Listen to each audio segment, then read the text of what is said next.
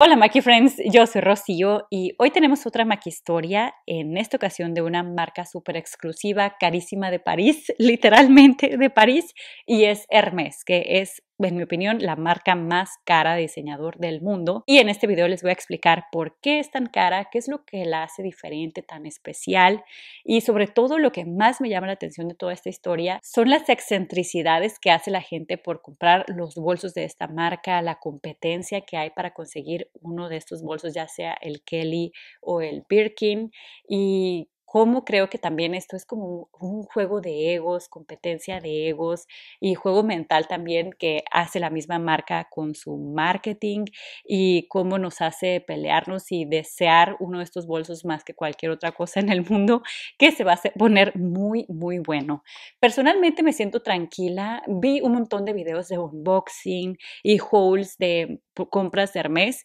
y me siento tranquila que no deseo tener nada de esta marca. No solo es porque no lo puedo pagar, porque eso también sería una razón, pero no es tampoco mi sueño llegar a tener uno de estos bolsos ni nada, porque no sé, como que yo no me cae el 20 del hype, como le dicen, detrás de Hermes. Pero bueno, aquí les voy a estar explicando lo que investigué, la historia y las prácticas tan locas, como les digo, para tener uno de estos bolsos. Que de hecho la inspiración para este video es esta maquicharla donde les conté de la locura que muchos famosos y multimillonarios tienen en sus closets y lo enormes que son, el montón de prendas y cosas que seguramente no se ponen y me llamó la atención como la mayoría de estos closets tienen una o más bolsas de este tipo de Hermes. Así que me puse a investigar como por qué sucede esto, porque para las personas que creían que el dinero lo puede comprar todo, al menos en el mundo material, la verdad es que no. O sea, tú puedes llegar con dinero tu maletín de dinero en efectivo, con dinero en tu banco, como sea, a una tienda y no te van a vender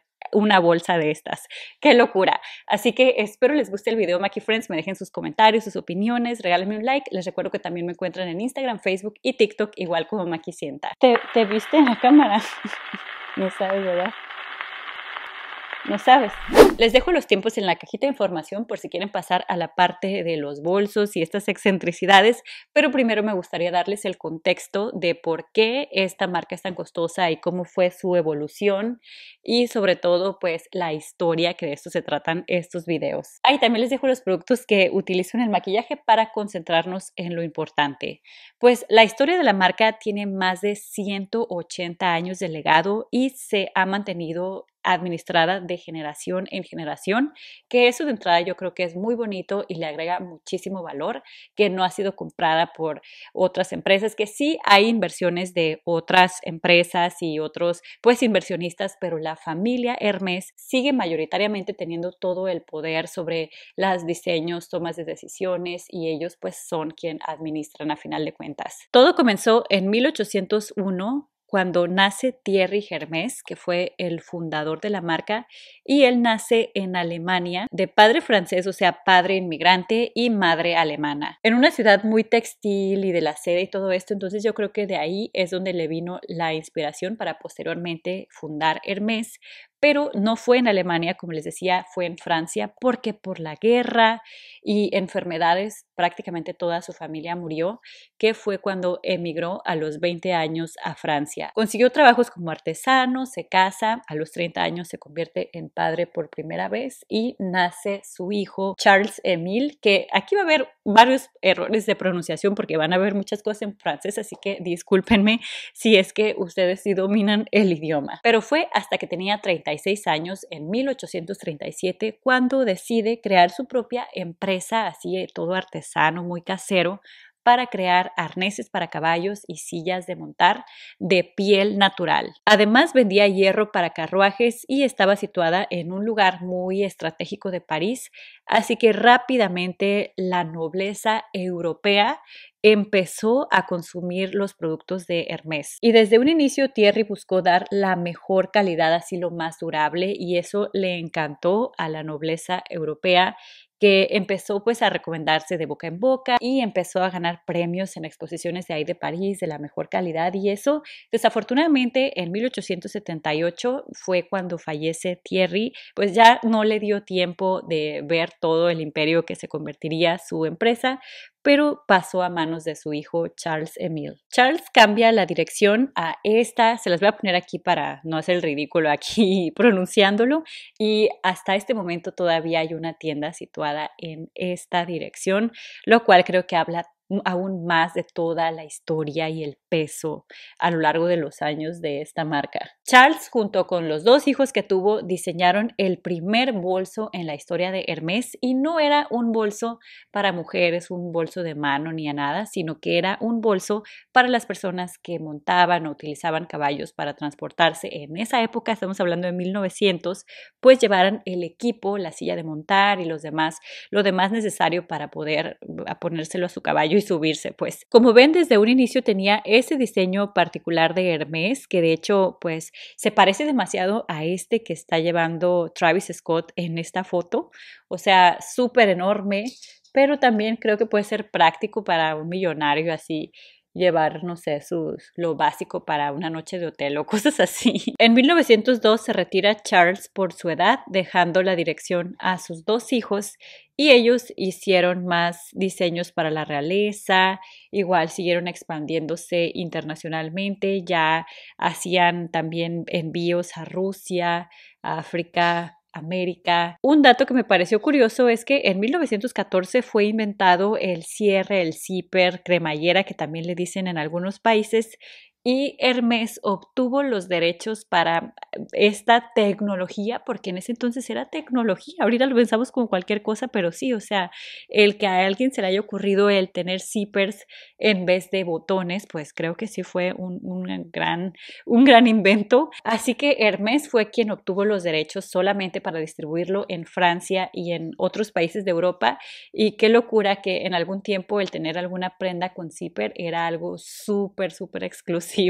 pero para 1919 ya las cosas no iban bien. Las ventas en equipo para caballería, para montar y eso bajaron muchísimo, imagino, por la llegada de los automóviles o los carruajes con motor. Entonces ya como que los caballos, ya la gente pues con mucho dinero pues ya no era tan de usar caballos, sino mejor utilizar este tipo de vehículos. Así que uno de los hermanos dijo, ay no, esto ya no es negocio, ya nadie quiere comprarnos nuestros productos, yo mejor me voy de aquí y qué malas decisiones se toman a veces en la vida. O sea, él yo ya dio por muerta la empresa, entonces le dijo a su hermano que ya se iba, que le diera la mitad de lo que valía la empresa como para dividirla entre dos y el hermano sí le dio su parte, pero decidió conservar Hermes y bueno, como saben, pues le funcionó el negocio. Pero al principio no fue tan sencillo porque pues no sabía qué hacer hasta que un día se le prendió el foco porque su esposa andaba buscando un bolso de mano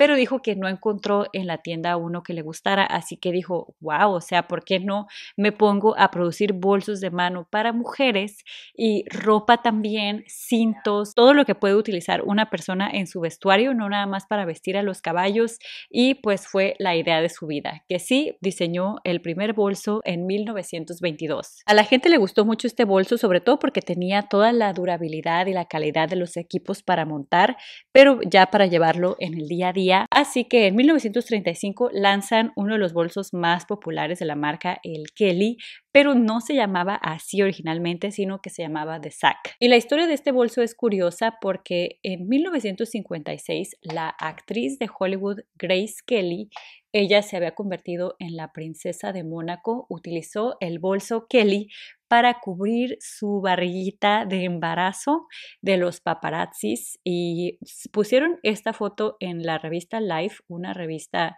pues muy famosa de ese entonces y a todas las mujeres o bueno a muchas mujeres les llamó la atención ese bolso que el siguiente día cuando abrieron la tienda Hermes, vieron que había un montón de mujeres preguntando, el bolso de Kelly, el bolso de Kelly, queremos comprarlo. Y fue por eso que le cambiaron el nombre. En 1937 inician con la línea de seda y mascadas, que hasta este momento es una de las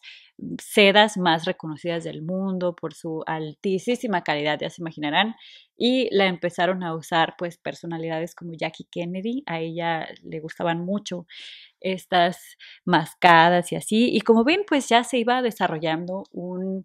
estilo o una personalidad de marca muy exclusiva de personas así de la realeza, porque también le hacían diseños especiales a reyes, a políticos, actrices, cantantes y así, que también decidieron aventurarse con los perfumes. En 1950 fue cuando crearon esta línea y para el 51 fallece Emil y se quedan a cargo los esposos de sus hijas, porque él nada más tuvo dos hijas, mujeres, y los que se quedaron a cargo fueron los que serían los yernos, y fue hasta 1981 cuando se crea el icónico bolso Birkin, y también tiene una historia interesante. Se trata de que en un vuelo de París a Londres se encontró Robert Dumas, que era uno de los yernos, estos que les decía, los directivos de Hermès, con Jane Birkin, que era una cantante y actriz británica, pues también muy famosa, y ella llevaba un bolso como estos de paja, ¿será? Les pongo una imagen aquí grande, porque no encontraba un bolso de piel que le cupieran sus cosas y puso todo su equipaje, bueno, toda esta bolsa en el compartimento de arriba del avión y todo se le regó porque no le cabía. Entonces empezó a quejar ahí con Robert Dumas que no encontraba una bolsa como lo suficientemente firme como para servirle para meter muchas cosas y también que le dolía el hombro cuando cargaba esta bolsa. Así que Robert le diseñó la famosa bolsa Birkin que es lo suficientemente grande como para meter muchas cosas y también para que no te duele el hombro pues tiene como esta agarradera, no te la puedes colocar acá, sino la tienes que llevar como más abajo, más en el brazo y así. Y pues imagínense lo contenta que se puso Jane de que Hermes le haya diseñado su propia bolsa y que se llamara así, aunque más adelante les voy a comentar cómo dio un giro medio inesperado esto, que, que ella ya no quiere que se llame así la bolsa, pero pues en ese momento estaba encantada que la recomendó con toda su audiencia. Los influencers han existido desde siempre, no es algo para nada nuevo, que aún así estaba cara en ese entonces, costaba como 3 mil dólares pero a lo largo del tiempo no ha dejado de crecer esta cantidad que hoy ya cuestan como 10 mil dólares. O sea, estamos hablando de la bolsa como más básica de las Birkin,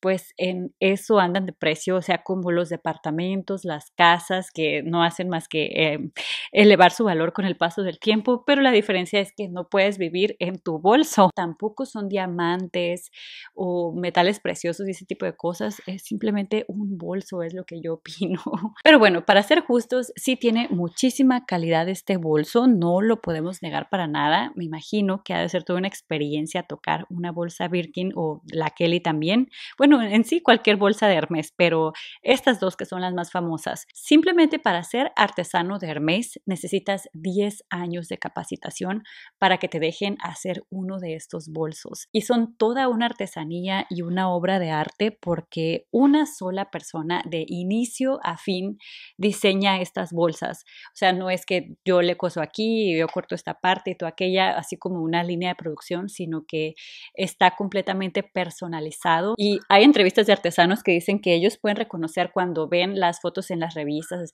de las celebridades y los famosos llevando bolsos, eh, pueden decir, ah, yo hice esta, porque pueden reconocer su estilo dentro de la misma Birkin. O sea, Qué curioso, pero para que vean que cada pieza es única y pueden tardar días haciendo un solo bolso. Tarda entre 24, lo mínimo, a 48 o más horas de manufactura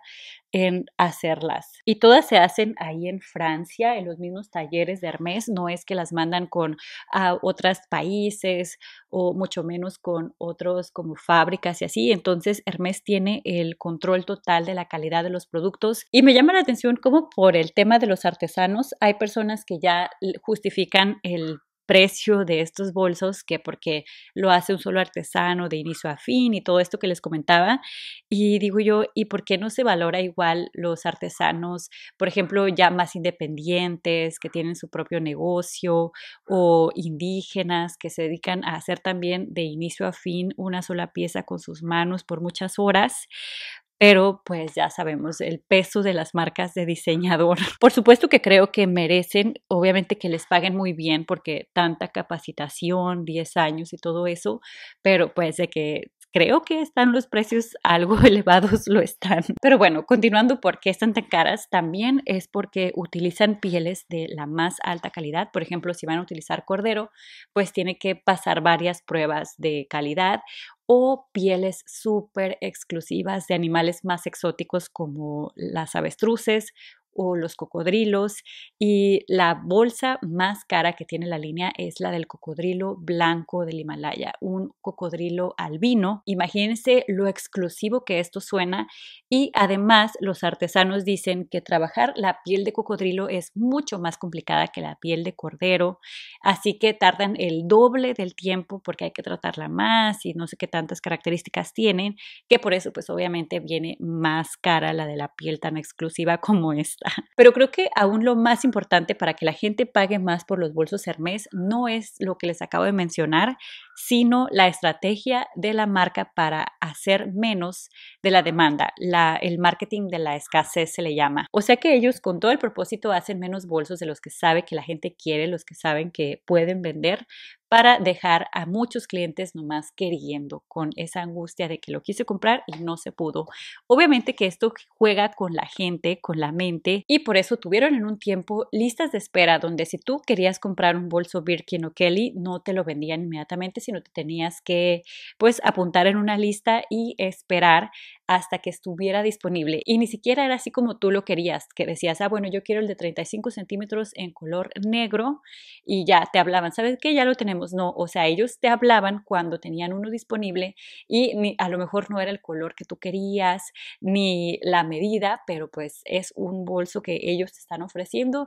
y si algún cliente rechazaba ese, decía, no, mejor yo me quiero esperar por, no sé, el negro, me están ofreciendo el azul vibrante, prefiero el negro como para usarlo más pues ya no te volvían a llamar. O sea que Hermes es una marca que tú no puedes despreciar nunca. De hecho, Hermes no le interesa llegar a sus clientes, quiere que los clientes vengan a ellos y todavía seleccionarlos. Una vez que llegan, ellos deciden si te venden sus productos a ti o si mejor no te lo venden y ya. Eso sí, fíjense que si quieren tener las mayores probabilidades de que les ofrezcan un bolso en una tienda Hermes es desarrollar una relación con los vendedores, que un vendedor particularmente te conozca y ya hayas comprado por años productos de la marca. Porque pues sí, aunque conocemos más los bolsos, también tienen, como les decía, cintos, joyería, ropa, zapatos y las mascadas y eso de seda. Entonces hay que empezar así despacito comprando ese tipo de cosas y cuando ya has demostrado que te mereces comprar una Birkin o una Kelly, bueno, te la, te la pueden ofrecer, pero para eso te hacen una entrevista donde tienes que demostrar que conoces de la marca, que sabes sus valores, como qué estilo tienes, que ese estilo se acople con Hermes y si después de esa entrevista y todo, pues si tienes suerte te pueden traer la bolsa que ellos te pueden ofrecer. Y a lo mejor no es del color que tú querías ni nada, pero te tienes que conformar con la que te ofrecen. Hoy creo que no se usa ya eso de las listas de espera porque si era una locura, hasta 6 u 8 años podía esperar la gente para comprar uno de estos bolsos. Entonces lo que hacen ahora es que nada más le venden estos bolsos a los clientes VIP. Ya no cualquier persona, bueno, de hecho nunca cualquier persona los ha podido comprar, pero ahora menos. Ya sé que parece mentira, pero no lo es. Estaba viendo en una página los tips para comprar una bolsa Birkin y dice, vaya bien vestido a la tienda, de preferencia Hermes. Demuestra conocimiento de las líneas Hermes, lo que venden y todo eso, y realiza las compras con un mismo vendedor en una misma boutique, como para desarrollar pues esa relación. Establezca un historial de compras, también conocido como perfil, que era lo que ya les comentaba, y compre entre una amplia gama de productos Hermes para que no parezca estar interesado en obtener solo un bolso Birkin, porque lo que no quieren los de Hermes es que la gente llegue a comprar su bolso Birkin y se vaya y ya nunca compre nada. Lo que quieren es gente que esté volviendo a comprar más y más cosas. Una vez que haya demostrado completamente su amor por toda la marca Hermes a través de muchas, muchas compras en varios departamentos diferentes,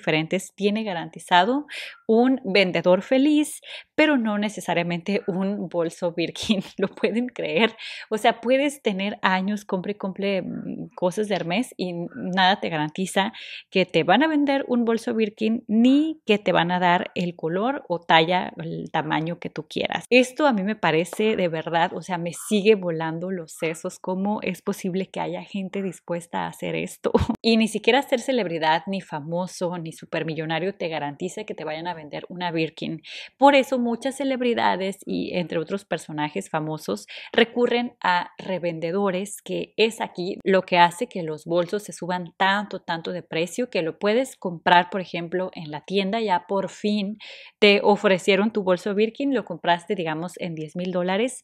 El siguiente día lo puedes vender a un revendedor en 14 mil y este mismo lo puede vender a lo mejor en Instagram o en algún otro sitio entre 20 mil, 30 mil y de ahí para arriba. O sea, hay bolsos que se han vendido en medio millón de dólares y a la gente que le pone incrustaciones de oro, de diamantes y ese tipo de cosas, pues ya superan los 2 millones de dólares. De hecho, es de las pocas cosas en el mundo que valen más usadas que nuevas y es por lo que muchas personas justifican el comprar este tipo de cosas porque pues tienen garantizada su inversión y que no va a ser más que elevarse con el paso del tiempo y lo más loco es que tiene sentido. Hay gente que está millonaria que se dedica a revender, comprar y vender eh, las bolsas Birkin y entre otras otras marcas de diseñador, pero principalmente estas son el caso más curioso en mi opinión.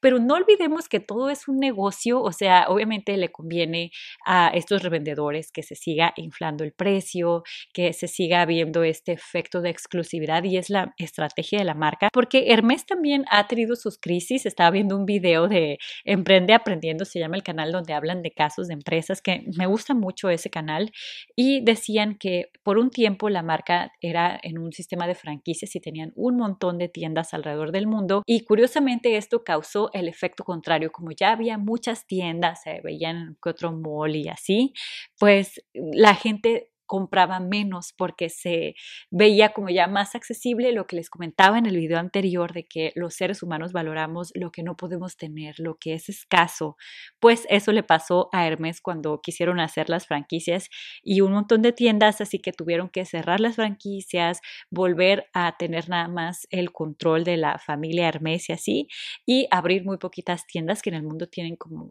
menos de 400 y sí tienen página de internet, pero ahí no te venden ninguno de estos bolsos y a ver si no le sale el tiro por la culata porque se está saliendo de control lo que está dispuesta a pagar la gente en el mercado de revendedores y así dinero que a lo mejor pudiera estar mejor ganando Hermes, ¿no creen? Pero pues no hay forma de arreglarlo porque si Hermes hace más bolsos, pues la gente va a comprar menos porque ya no va a ser tan exclusivo la psicología, qué locura. Y lo más, más irónico de todo, y sería con lo que yo me quedaría de este video, es que la mismísima Jane Birkin ya no le gusta la bolsa, ya no la quiere ya no usa, no sé si tenga en su colección o algo así, pero ella ha declarado que ya no le parece ese bolso útil para ella porque ahora prefiere ponerse como que nada más lo necesario. Creo que adoptó un estilo de vida más minimalista y nada más se pone lo que le cabe en sus bolsillos de los pantalones. Dice así como más estilo masculino y no necesito un bolso tan grande. Qué locura que en quien está inspirado ya le pidió de hecho a Hermes que le quitara su nombre. Ella se siente con los derechos de la palabra Birkin y no quiere que lo lleven esas bolsas porque la contactaron los de PETA y le mostraron videos de las prácticas supuestamente de Hermes, cómo maltratan a los cocodrilos para quitarles la piel y eso, y uh, se molestó muchísimo y le pidió a Hermes que ya no se llamaran así, que ya no quería estar como vinculada a este tipo de prácticas, pero los de Hermes le dijeron que no, que esos videos no eran, que no tenían nada que ver con Hermes, que Hermes cuida muchísimo, que se les dé un trato digno a los animales de los que le quitan la piel. Ellos son muy cuidadosos y auditan a sus proveedores, a las granjas de estos animales y se les da un trato digno supuestamente. Este es un rumor que anda por ahí y yo pues me atrevería a creer creer que sí es un como fake news que estos videos no son de Hermes porque no creo que una marca tan prestigiosa y que cuida tanto su nombre se ah, caiga tan bajo, digamos, como para hacer ese tipo de cosas, pero pues uno nunca sabe. Lo que sí es que Jane Birkin dejó de pelear con Hermes, como que dijo, bueno, ya, llámenle como quieran a su bolsa. Entonces, pues las preferencias cambian. Yo, por ejemplo, soy de agarrar un bolso y todo el tiempo usar el mismo y me gusta negro como para que quede con todo y ahí, ahorita, antes mi bolso era maquillaje y puras cosas así bien, bien mías y ahora son pañales, toallitas, cositas así para limpiar a los niños y un que otro labial y un espejo. Y les voy a poner aquí la marca de mi bolso, que aunque es una marca pues algo costosa, no se compara ni cercano remotamente a estos precios que de los que estamos hablando en el video. Y me estoy sorprendida con lo que aguanta, lo bien que está cosida. Le caben muchas cosas, a veces la pongo en el piso donde pues el niño ya me necesita y la dejo ahí para poder ir con él. O sea, no puedo cuidarla mucho la bolsa en realidad y no está ni rayada, está, es increíble. Entonces, sí creo que invertir en un bolso bueno vale la pena cuando necesitas traer un montón de cosas y así, pero bueno, ya será decisión de cada quien qué inversión, de qué tamaño hacer esa inversión. Entonces, creo que como les digo, las preferencias cambian, cambian las necesidades de lo que necesitas guardar y así que fue precisamente lo que le pasó a Jane Birkin y por eso no me atrae este tipo de cosas, pero hay gente que ya me imagino que ha de estar pensando que qué le pasa si es Hermes. Bueno, eh, créanme que no lo entiendo. A final de cuentas es una empresa, es una marca. Eso sí, de seguro esos bolsos duran años y años intactos, pero a la vez es curioso porque si tú te compras un bolso Birkin lo tienes que cuidar demasiado para poderlo revender y no quitarle el valor, entonces casi no lo vas a usar así como yo que traigo la bolsa para todos lados. Entonces, como les digo, pues bueno, cada quien que haga con su dinero lo que le plazca y pues le parezca mejor, pero de que es un mundo completamente bizarro esto de los bolsos de Hermes, lo es. También lanzaron maquillaje, por cierto, hace como uno o dos años, iluminador, labiales y definitivamente creo que no soy su público objetivo. Pero bueno, cuéntenme en los comentarios ustedes qué opinan, si ya conocían este misterioso mundo o si apenas se van enterando. Me encantaría leerlos. También pudieran compartir este video con el que le gustan esto de las historias de marcas de diseñador, que pronto tendremos más de este estilo. Muchísimas gracias. Les recuerdo que se pueden suscribir para ver más videos como este. Subo de uno a dos videos a la semana y nos vemos muy pronto en uno próximo. No se olviden de like. Adiós.